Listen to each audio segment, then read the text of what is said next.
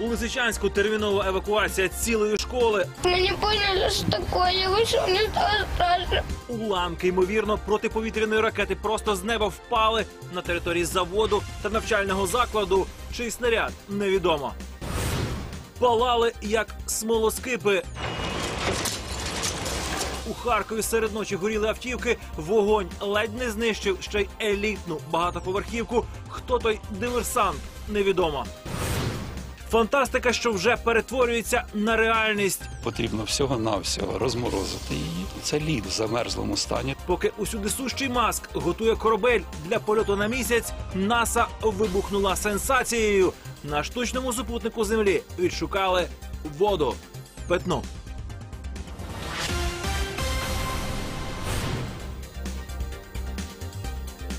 12 жовтня, п'ятниця, 18.15 у ефірі спецкор. І ми готові поділитися з вами останніми новинами. Жодного руху коштів у найбільшому державному банку країни. Перерва в роботі. Псевдонауковці заполонили українські виші і вимагають визнання та все пропало або кремлівська агонія навколо українського томосу. Мене звати Руслан Ярмолюк, і ми починаємо. Неочікувано у тиловий Лисичанськ прилетів боєприпас. Точніше, те, що від нього лишилося. Шматки заліза впали просто на подвір'я місцевої школи і заводу гумотехнічних виробів. Зі школи мерщі евакуювали всіх дітей. Місце оточили правоохоронці. Тепер з'ясовують, що то за снаряд і звідки він прилетів. Лунало припущення, що то уламки ракети від зенітно-ракетного комплексу протиповітряної оборони ОСА. Спеціалізована школа номер 27 міста Лисичанськ. Сьогодні тут близько 11 ранку перервалися уроки через те, що у двір школи впав осколок снаряду. Около 11 часов мы услышали звук. Рабочий стоял на улице, он увидел, как упала во дворе школы. Наразі тут залишилася тільки вирва від снаряду. Вона буквально в кількох метрів від кабінетів школи номер 27. У нас э, два раза бабахнуло. Ну, один э, снаряд там, а второй мы не знаем. Зі школи екстрено евакуювали 541 дитину. Вчителі говорять, знадобилося на це лише дві хвилини. У нее такая истерика была, она прибежала, вот такие слезы льются, ее старшая внучка привела. Плачет на взрыв, рвота открылась, а бледная как стена, аж зеленая. Мы не поняли, что такое. Я вышел, мне стало страшно. Попередньо вже з'ясували, це був снаряд від реактивно-зенітного комплексу ОСА. ОСА автоматизований військовий зенітно-ракетний комплекс, призначений для прикриття сил танкової дивізії. Залежно від модифікації, має від 4 до 9 керованих ракет, що здатні знищувати цілі на відстані від півтора до 20 кілометрів. В соціальних мережах вже з'явилося відео. Там видно чіткий час 10.50. Самі вибухи не видно, але дуже добре чутно.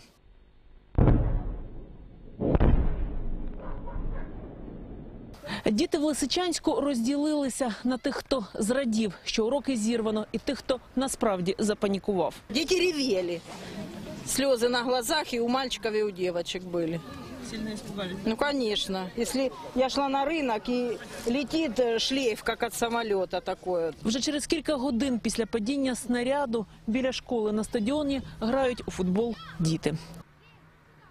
Друга частина снаряду впала ось тут. Це так званий парк РТІ у Лисичанську. Проте зараз про падіння снаряду тут нагадує лише оця огорожувальна стрічка. Засипали ж, мабуть. Ага. Більше ж немає, бачите, огорожен. Більше тут немає ні воронок, вот то, что то там листья. Нагадаю, місто Лисичанськ було звільнено ще влітку 2014 року. Проте місцеві жителі постійно чують бої з боку окупованого Первомайська. З Луганщини Наталя Нагорна, Вадим Литвин, Микола Головко, спецкор 2+,2. Повернення додому відкладається щонайменше до початку наступного тижня. Рятувальники не рекомендують жителям ічнянських сіл їхати до своїх осель. Адже на складах Чернігівщини, де в ніч проти вівторка почали вибухати боєприпаси, розриви чути і досі. В годину каже голова держслужби з надзвичайної ситуації Микола Чечоткін може здетонувати до 10 снарядів. На полігоні дотепер не загасили декілька осередків пожежі. Щоб приборкати вогонь, там нині працюють пожежні танки, літаки і навіть спеціальний гелікоптер, яким гасять полум'я по селах і лісах. Довкола арсеналу працює сапери, вже очистили від вибухонебезпечних предметів автодороги у 16 15-кілометровій зоні. Жителі навколишніх сіл, попри рекомендації надзвичайників, починають повертатися додому. Оселі застають напівзруйнованими, деякі будинки вигоріли вщент. Доки комісія рахує збитки, постраждалі взялися самотужки латати дірки. Повністю розмінувати всю територію обіцяють до нового року. Головною версією вибухів на складах вважають диверсію. Більш-менш безпечно буде зрозуміло тоді, коли ми е, перевіримо якнайменше 10 населених пунктів, які найближче е, прилягають до е, епіцентру вибуху. Це буде найближчі там 3-4 дні. Ми вже будемо знати. Я думаю, що до цього часу ми ці населені пункти розмінуємо. Потяг у вогні у Німеччині на ходу загорівся швидкісний пасажирський поїзд.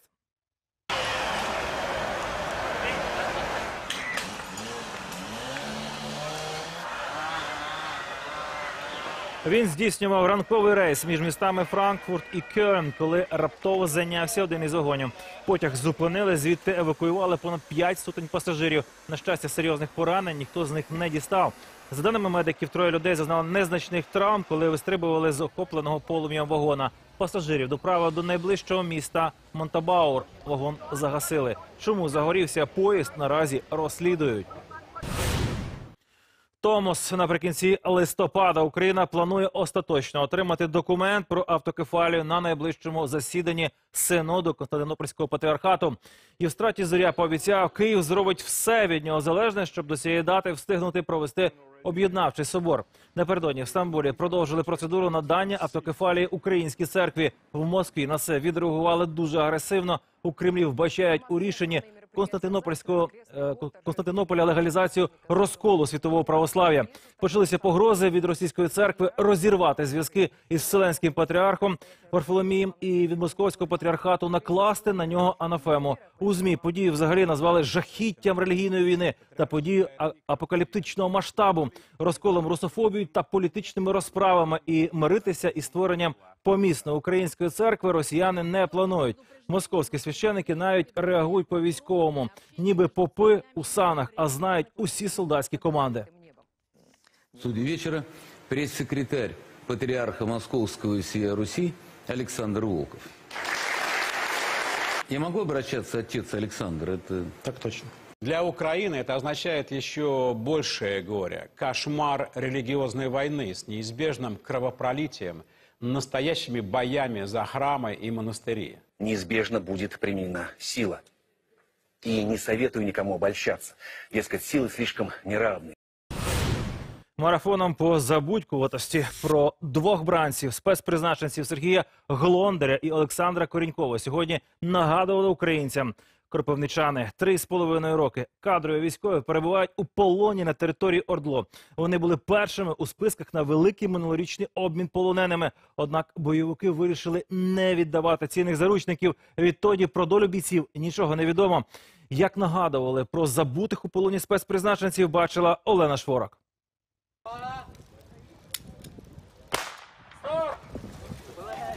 Зо півтисячі кропивничан пробігли центральною вулицею міста, щоб нагадати про двох земляків, які майже чотири роки у полоні сепаратистів – Сергія Глондара і Олександра Корінькова. Спецпризначенців взяли у полон під Дебальцевим. Кропивницькі військові розвідники тоді прикривали відхід основних сил українського війська з котла. Одна з розвідгруп потрапила у ворожу пастку. У цей день дружина Сергія Глондара дізналася, що вона вагітна. Нині доньці Ганусі три роки, а тато її ще не бачив. Вона мені говорить, мама, коли мій папа приїде, що він мене забрав до себе жити? Перебуває у полоні на сьогоднішній день це 1335 днів. З грудня після останнього великого обміну зв'язок із полоненими остаточно перервався. Нам обіцяли, що наші хлопці будуть ще у січні цього року. Зараз, вибачте, у нас уже жовтий місяць. Рахувати усі вміють. Здвигів ніяких немає, зв'язку немає, телефонних дзвінків немає, листування немає. Щоб нагадати про полонених і підтримати їхні сім'ї, в обласному центрі влаштовують чимало акцій, які збирають тисячі людей. Тепер от вирішили ще й пробігти заради волі двох незламних чоловіків. Хлопці, які звільнилися минулого року, вони розказували, що час від часу інколи є можливість у хлопців полонених дивитися новини. І коли по цим новинам вони бачать навіть сюжетами, якимись епізодами, те, що їх підтримують вдома, не тільки рідні на них чекають, не тільки дружина і діти, а що громада, те, що суспільство не байдуже до цього. Тут дуже хочуть вірити, що про обіцянки звільнити бранців згадає керівництво держави. Олена Шворок, Роман Крумніч, Кропивницький, спецкор 2+,2. Нічна пожежа у середмісті Харкова найімовірніше рукотворна. Там вщент вигоріло півдесятка машин. І лише останньої миті від вогню вдалося врятувати сусідню багатоповерхівку.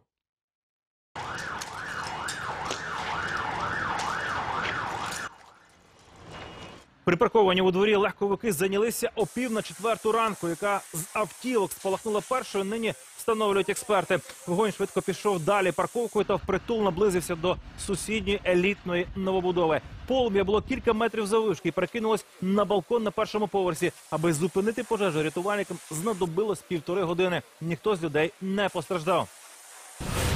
Довічний бан за небезпечне селфі. Техаське стрільбище заборонило з'являтися на порозі двом чоловікам, розваги яких могли завершитися справжньою трагедією. Камери спостереження засікли, як один з чоловіків фотографується з пістолетом, а потім приставляє зброю до голови свого приятеля і робить ще одне селфі. З Жартівниками швидко розібрався співробітник, відповідальний за безпеку. Відібрав зброю, пояснив, що так не можна робити, і проводив до виходу. Українці не хочуть служити в армії лише в столиці. Від призову на строкову військову службу ухиляється понад 30 тисяч юнаків.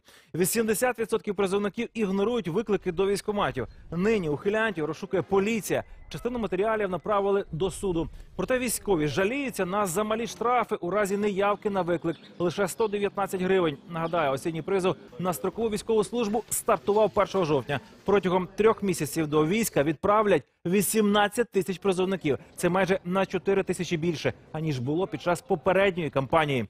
Військові запевняють, строковики не служитимуть у зоні бойових дій на сході країни. Особисто вручені повістки 27 тисяч 823 чоловіки. З'явилося до військових комісаріатів всього лише 1617 чоловік.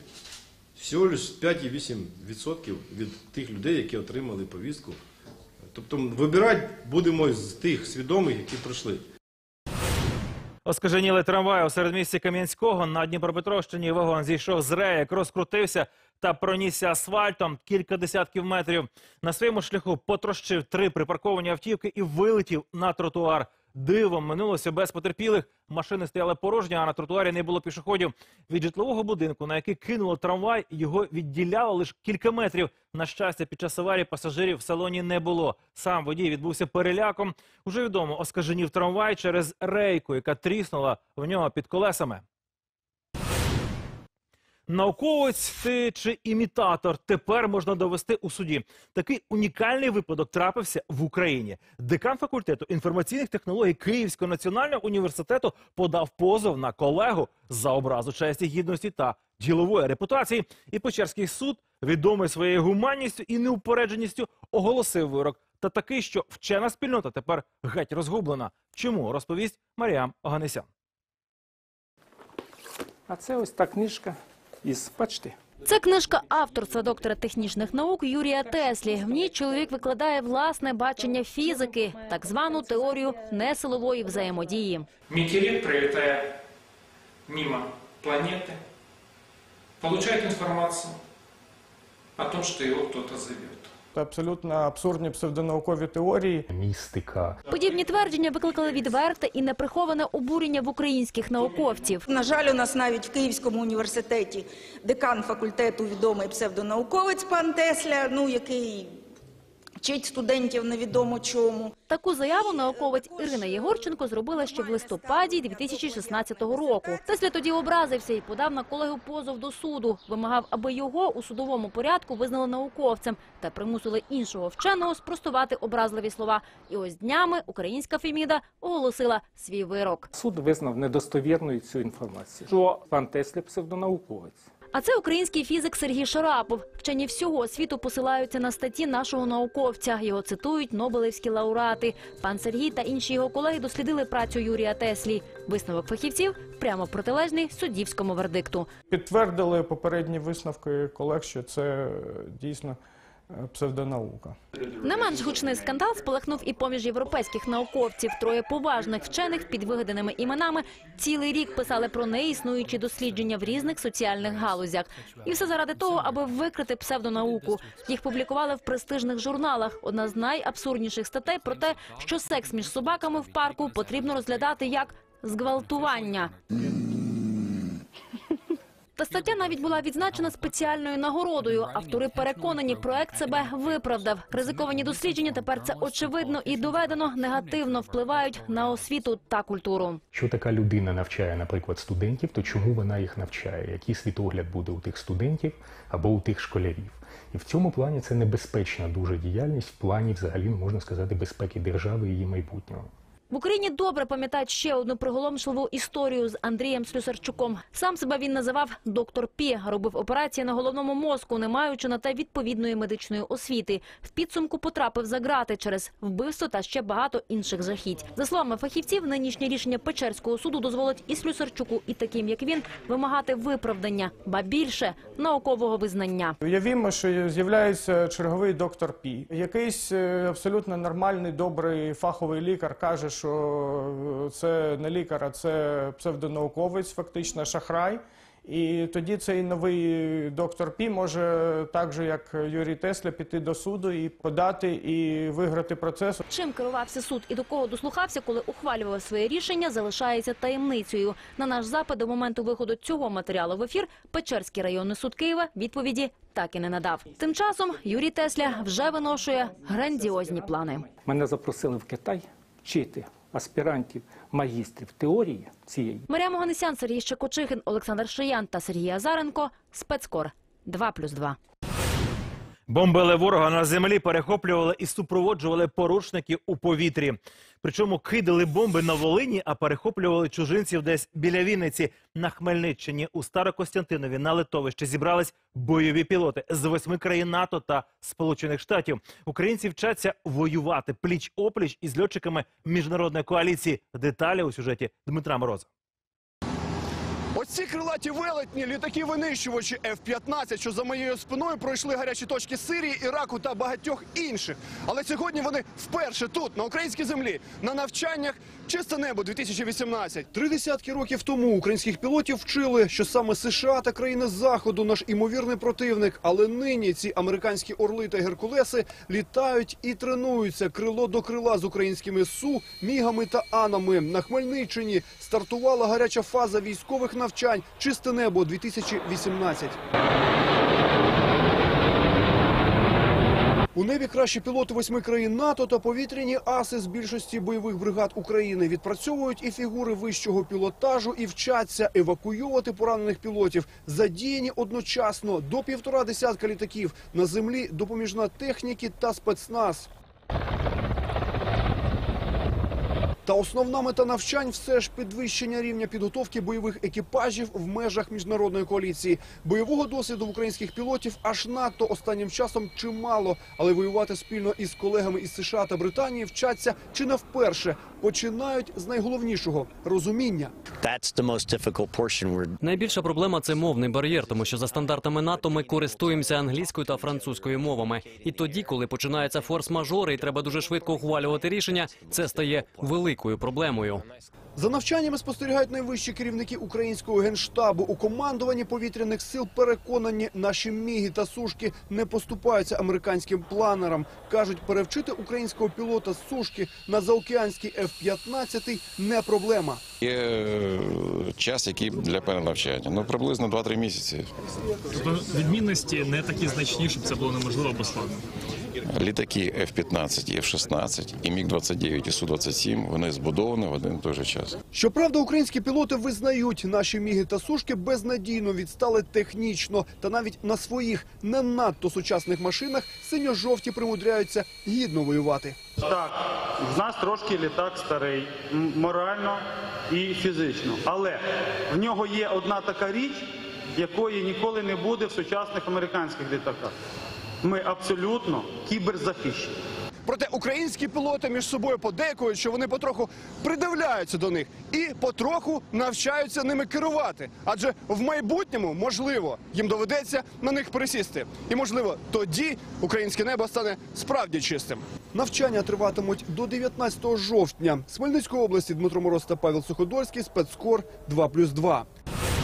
Тимчасово на землі Пентагон призупинив польоти всіх винищувачів F-35, допоки спеціалісти не перевірять паливну систему цього найсучаснішого та найдорожчого американського літака.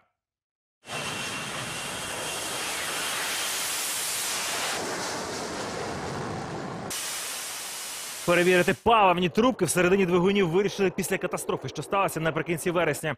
Тоді винищувач за більш ніж 100 мільйонів доларів розбився під час тренування, не дотягнувши кілька кілометрів до бази. Польоти призупинили як в США, так і інші країни, що мають на озброєнні ці повітряні машини. Точно причину аварії поки що не називали, але підозрюють саме паливну систему. Бо у квітні F-35 екстрено сів через несправність паливного відсіку. Діагностика триватиме не більше двох діб. Обіцяють у Пентагоні. Справжня тиха непублічна благодійність на Львівщині. Бізнесмен подарував багатодітній родині бійця АТО будинок. До того сім'я з дев'ятьма дітьми жила в одній кімнаті гуртожитку. Добродійник віддав ключі від нового житла, натомість попросив одного анонімності. Наталка Волосацька спробувала розшукати філантропа, який так легко, а головне без розголосу, віддав кілька десятків тисяч доларів на добру справу. Це наймолодша з дев'яти доньок Марії. Їй лише три місяці. Дві старші дівчинки вже поїхали з дому. Інші тісняться разом з мамою в одній кімнаті на 22 квадратних метрах. А то наша антикварна колиска. Ті колисці ще моя баба колисалась. Місця мало для одягу. Відповідно, то і дівчата вони більше передіваються. І посуда, і то ми стараємося так зимове витягуємо, тоді літнє ховаємо. А це крихітна кухня. Кому я першу роблю? Мені зроби п'ять колосків. Дівчатка їдять по черзі, бо розміститись разом ніде. Уроки теж вчать одна за одною у дзвінкому галасі. Рухають Поки Марія за дітьми доглядає сама останні два роки, її чоловік був в АТО. Зараз зліг до лікарні із серцем. Наприкінці літа жінці у соцмережі написав незнайомець, який прочитав про неї у газеті. Спитався, чи в мене є ванна, чи в нас є туалет в хаті. Він каже, у вас тут треба все кардинально міняти. І спитався, де сільська рада. І за кілька днів він, Марія та секретар сільради вже шукали для родини нове житло. Будинки були такі досить ну, від 10 там, до 15 тисяч. Але йому все не подобалося, тому що будинки були в занедбаному стані і досить е, такі по площі малі. Я ще досі не вірю, що таке може бути, що людина просто витягнула таку, ну, таку суму і положила за когось. Про благодійника Марія знає небагато. Звати його Сергій. Він має дружину і трирічного сина. У сільраді кажуть, чоловік із сусіднього села часто їздить за кордон, але чим займається, не кажуть, бо він просив про анонімність. Кажу, ну чому ви це робите? Для чого? Він каже, я можу це зробити. Повірити в це було дуже важко. Ми спочатку подумали, що нас просто е, ну, з нами жартують. Але то був не жарт. Ось цей будинок на майже 100 квадратних метрів тепер належить Марії. Ба більше Сергій допомагає з ремонтом і меблями. Тут, перш за все, я хочу зробити кімнату для тих молодших, щоб я була з чоловіком і молодші діти, троє менших. У будинку майже все готове для життя. Майстри ще проводять каналізацію та встановлюють парове опалення. Новий рік родина раку зустрічатиме вже у новому домі. Біля хати велике подвір'я та сад, яким новосельці тішаться найбільше. Є стайня, є комора. Так що збудеться моя певна найбільша е, мрія, я заведу господарку. Жінка досі не може оговтатися від щастя. каже, думала таке можливо, хіба що у кіно. Мрії збуваються. Якщо дуже добре вір... мріяти, то мрії збуваються. Наталка Волосацька, Орест Малькут, Львівщина. Спецкор 2+,2. Про секс та з сексом. Звабниця Трампа завітала до Німеччини. Урочисто відкрити виставку інтимної індустрії з-за океану прилетіла Стормі Деніелс, зіркова порноактриса. Фантастика, що вже перетворюється на реальність. Потрібно всього-навсього розморозити її. Це лід в замерзлому стані. Поки усюдисущий Маск готує корабель для польоту на місяць, НАСА вибухнула сенсацією. На штучному супутнику Землі відшукали воду. Maintenant.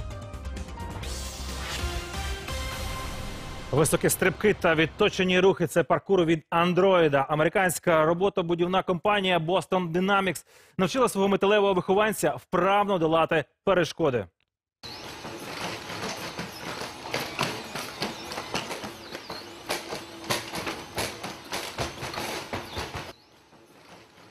Творці андроїда Atlas створили для смугу із перешкодами. Перший бар'єр колода для робота не надто важкий. Далі височенні сходи 40 сантиметрів, і це при тому, що висота самого робота півтора метра. На таких сходах пострибає не кожен ще й з таким темпом, таким як у цього робота. Для андроїда і сходи не перешкода, але і лівою, і правою робот навчився стрибати в однаковому темпі. Для Атласа це вже не перші трюки. Раніше розробники демонстрували, як андроїд вміє балансувати на одній нозі та робить сальто. Пауза у роботі Приватбанку в ніч на 14 жовтня. Найбільший банк України припинить роботу на 8 годин. Зробити технічну паузу у фінустанові вимушені, адже банк планує перехід на нову систему управління базами даних.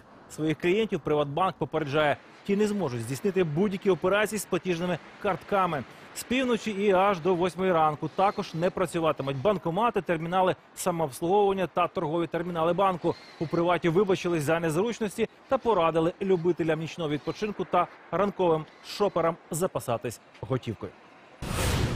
Мистецтво еротики від коханки Трампа. Скандальна порноакторка Стормі Деніелс відкрила дорослу виставку у Берліні.